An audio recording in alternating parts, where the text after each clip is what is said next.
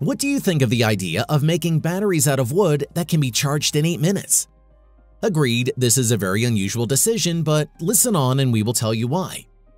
The battery market is expected to grow tenfold over the next decade as we move towards the absolute electrification of society.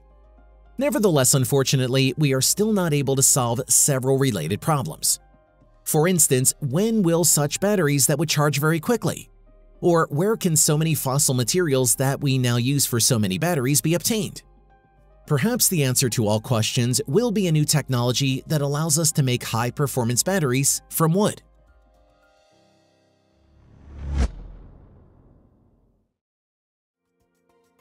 Graphite is one of the most common materials used for anodes in batteries today. It's simple. It has high electrical conductivity and is stable and cheap. But not everything is so good as graphite has problems. Firstly, it is often mined in underdeveloped countries or states that do not really care about protecting the environment. This results in severe environmental damage. Secondly, the graphite mining process is energy intensive and results in significant greenhouse gas emissions. A paradox arises. In an attempt to reduce the carbon footprint, we increase it even more and mitigate all the achievements of technology. Thirdly, the mining as well as the processing of graphite poses public health problems through fine particulate emissions and exposure to toxic substances. Fourthly, graphite has a limited energy density. That is, to make a more capacious battery, they will have to increase its size. Naturally, these limitations are pushing scientists to look for alternative materials to use as anodes in batteries, those that would increase the level of performance, scalability, and stability. One such alternative is lignin. How could this material revolutionize batteries? This is the Stora Enso, a Finnish-Swedish corporation that emerged in 1998 as a result of the merger of the Stora Swedish Mining Company and Forestry Company and the Enso Gutzeit Finnish paper and paperboard manufacturer. It is also one of the largest private forest owners in the world. Actually, it was engineers from the Stora Enso who suggested making high-performance batteries out of wood, more specifically lignin.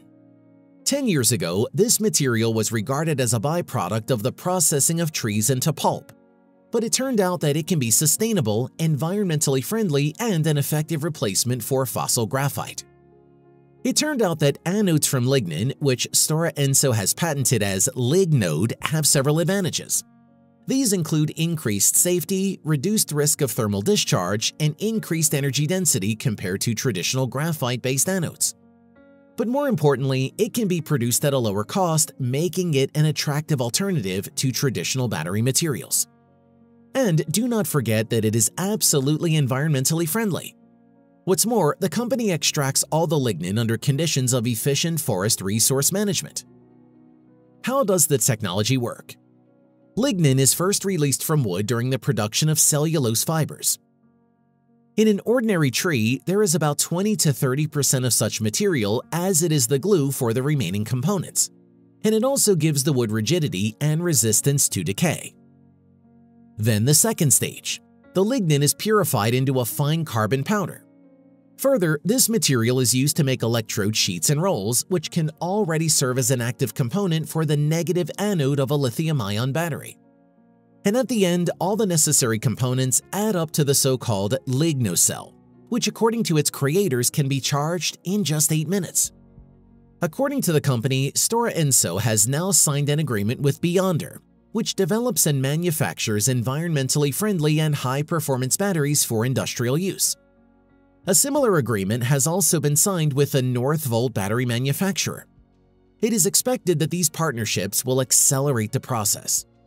In the meantime, the company is working to create battery components from lignin including electrodes, separators, and electrolytes, which are vital components of lithium-ion batteries. The possibility of using lignin-based materials in other energy storage applications such as supercapacitors is also being explored the emergence of truly functional battery systems is planned for 2025. Although lignin-based batteries are still in the early stages of development, they look promising as a more sustainable and environmentally friendly alternative to traditional batteries. The Stora Enso company believes that everything made from fossil materials today can be made from wood tomorrow. But right now, such systems developers need to improve the performance and scalability of energy sources.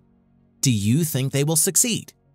To avoid guessing, subscribe to the channel and we will definitely tell you about it in future videos.